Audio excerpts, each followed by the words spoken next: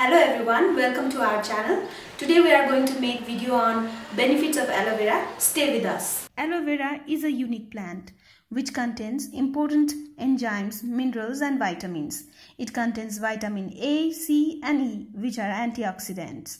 It also contains vitamin B12, folic acid and choline.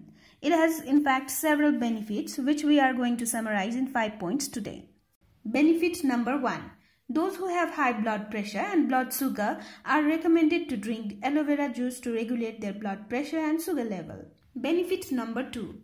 Aloe vera juice triggers digestion which in turn heals constipation and also helps in weight loss.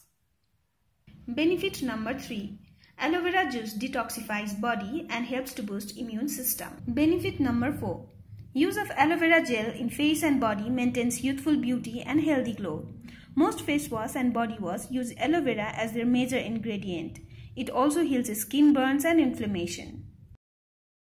Benefit number 5. At last but not the least, aloe vera gel is also useful for your hair. It moisturizes your hair and scalp and gives a shiny glow for it. However, the point to be noted is aloe vera should always be consumed in appropriate amount.